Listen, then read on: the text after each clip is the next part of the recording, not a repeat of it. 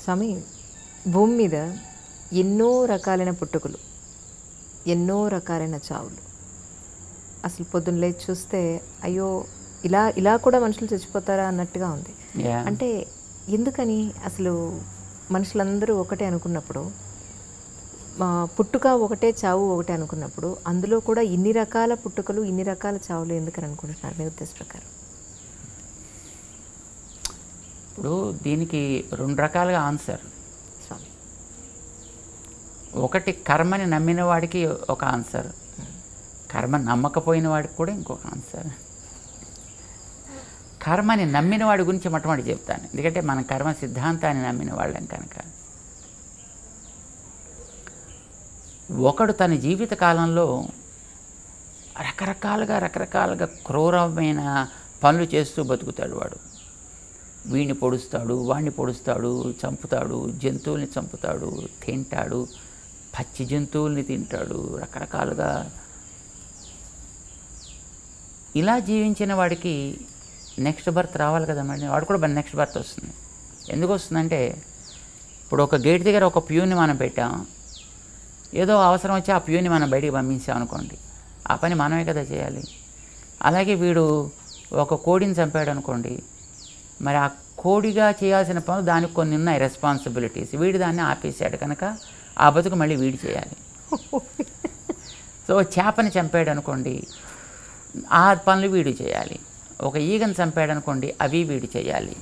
ఒక దోమని చంపాడు అనుకోండి ఓ పందిని ఓ మేకని ఒక గొర్రెని బర్రెని వాట్ ఎవర్ ఇట్ ఇస్ ఇప్పుడు వీటన్నిటినీ వాడు చంపినప్పుడు అవన్నీ చేయాల్సిన పనులు వీడు చేయాలి కనుక వీడికి నెక్స్ట్ బర్త్లో వాటికి ఏవేవైతే ఎక్స్పీరియన్స్ చేయాల్సి ఉందో అవన్నీ వీడికి ఎక్స్పీరియన్స్కి వస్తాయి ఆటోమేటిక్గా ఒకదాని తర్వాత ఒకటి.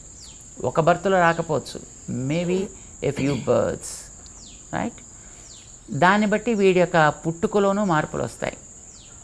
ఒక్కొక్కడు కుక్కలా పుడతాడు ఒక్కొక్కడు చేపలా పుడతాడు ఒక్కొక్కడు పందిలాగా పుడతాడు ఒక్కొక్కడు పిల్లిలాగా పుడతాడు.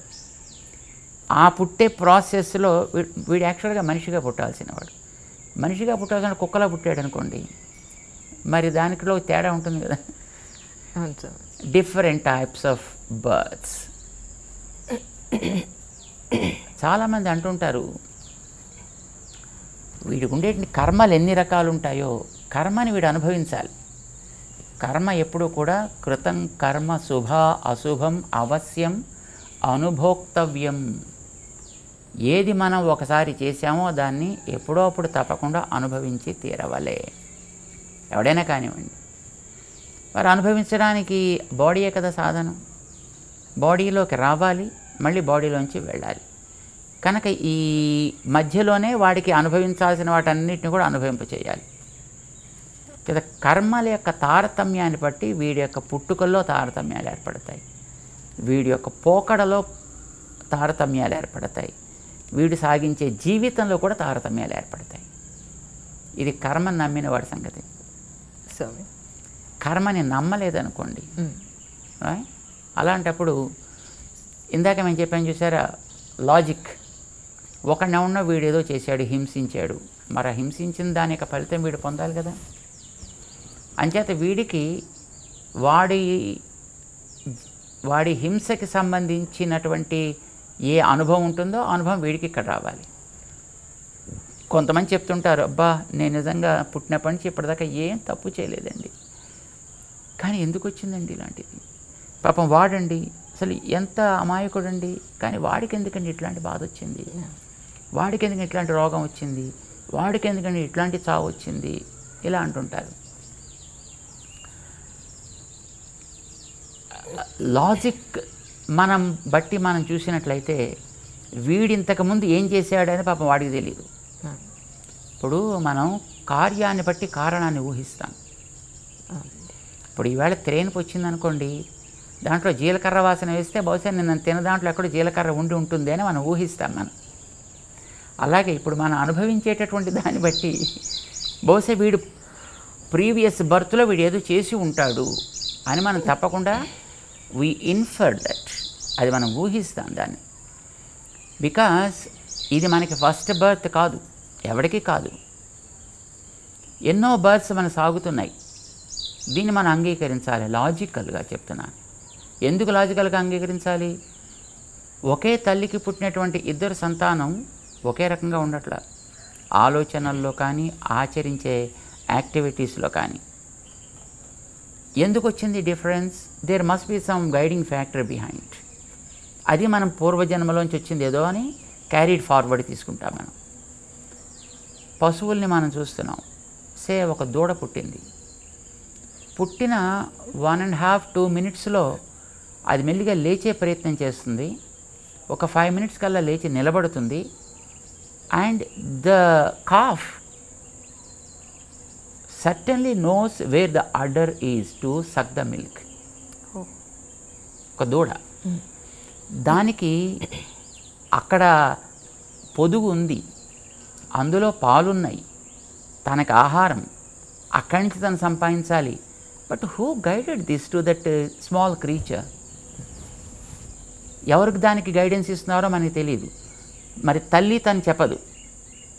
చెప్పే స్థితిలో తల్లి కూడా ఉండదు. ఎందుకంటే అప్పుడే పాపం దూడని కంటుంది. అది ఇంకా తన బాధ ఏదో తను పడుతూ ఉంటుంది. కానీ మీన్ వాయిల్ ఈ పిల్ల లేస్తుంది నడుస్తుంది పొదుగు దగ్గర మూతి పెడుతుంది పాలు తాగడం కూడా ప్రారంభిస్తుంది. అంటే వ్యక్తికి బ్రతికేటటువంటి అదృష్టం ఉంది కనుక ఆ వెనకాతలు ఉండేటువంటి ఆ అదృష్టం ఏదో దాన్ని గైడ్ చేస్తుంది.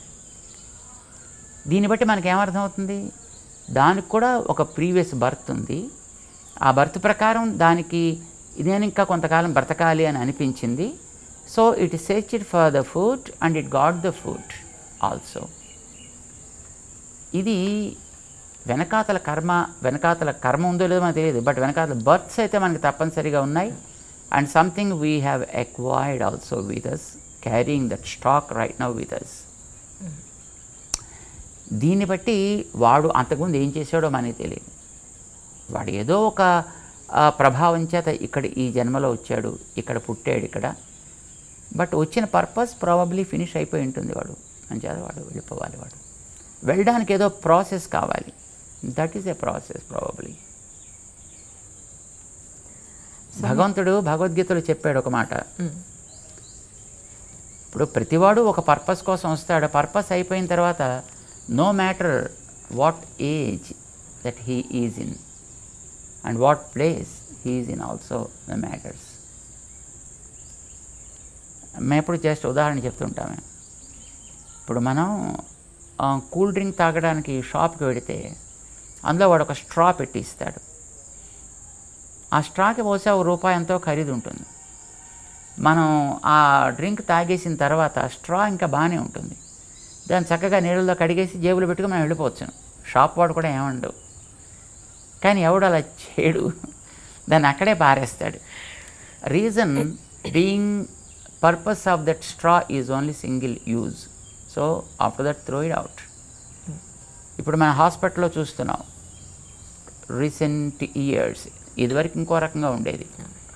ఇంజెక్షన్ ఇచ్చిన తర్వాత దాన్ని స్టెరిలైజ్ చేసి మళ్ళీ వాడుతుండేవారు. ఇప్పుడు now the sterilization process is gone almost open the pack bring out the syringe and give the injection and throw it out. Needle బాగానే ఉంటుంది. ఆ ఇంజెక్షన్ బాగానే ఉంటుంది. కానీ మనం మళ్ళీ వాడలేదు కదా మళ్ళీని? Because the purpose is single use so also మనకి ఈ బాడీస్ ఇవ్వడం కూడా probably it is the nature that's giving the bodies let is not talk about the karma are karmic siddhantas, right? Nature gave the body to us. Let us believe in that because whether if we believe it or not, but that's the truth. Nature is the one giving the bodies and it gives with a purpose. and when the purpose is up then you should take it out ఎట్లా తీసుకెళ్ళాలి ఏదో ఒక purpose ఏదో ఒక రకమైన process ఒక్కొక్కడు టక్మని heart attack వచ్చి పోవచ్చును లేదు ఒక్కొక్కడు ఏదో యాక్సిడెంట్ లాగా జరిగిపోవచ్చును. ఒకడు మరో కారణం చేత పోవచ్చును. సమ్ అదర్ రీజన్ లేదు పాపం ఒకడు ఫ్లైట్లో పెడుతున్నాడు. టక్మన్ ఆ ఫ్లైట్ ఎక్కడో బ్లాస్ట్ అయిపోయింది అండ్ దెన్ ఇట్స్ గాన్. దానికి age is not the fact at all. The purpose is five years after five years you should quit there is a way వాలిని రాముడు చంపాడు. రామాయణంలో. అవునండి. చంపిన తర్వాత వాళ్ళు అడిగాడు ఆయా ఏమంటే చెట్టు చావడం చంపేందుకు నన్ను? అది పనికిరాని వాళ్ళగా? ఇదేనా నువ్వు చేయాల్సిన పని? ఇదేనా నీ వంశానికి నువ్వు తీసుకొచ్చేటటువంటి ఘనకీర్తి? అని దెబ్బలాడాడు. అంటే రాముడు సమాధానం చెప్పాడు దానికి.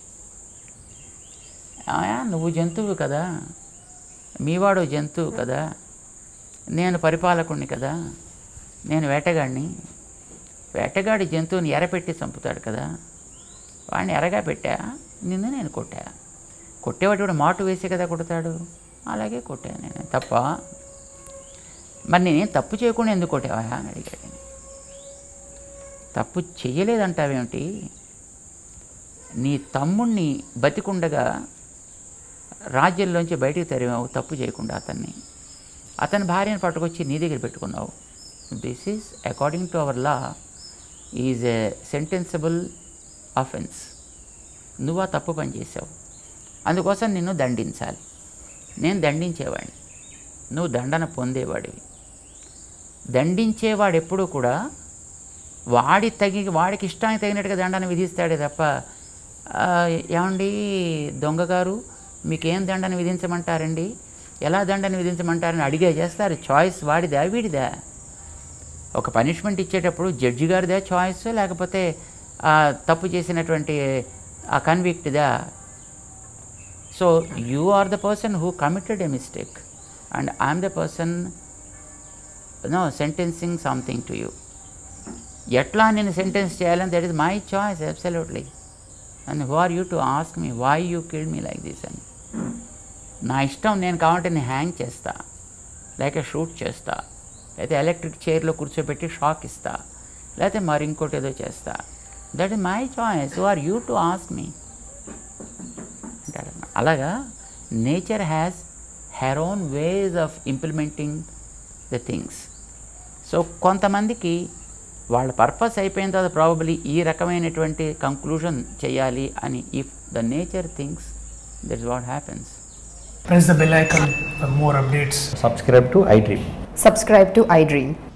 Subscribe to iDream. Subscribe to iDream. Please subscribe to iDream. For more such videos, please subscribe to iDream. For more videos, please subscribe to iDream. and you're watching iDream Media. Please like, share, and subscribe to the channel. And don't forget to subscribe to iDream. Please subscribe iDream Media. Do subscribe to iDream. Subscribe to iDream Media. Do subscribe to iDream Media. Don't forget to subscribe. Click on the button below Don't forget to subscribe to iDream.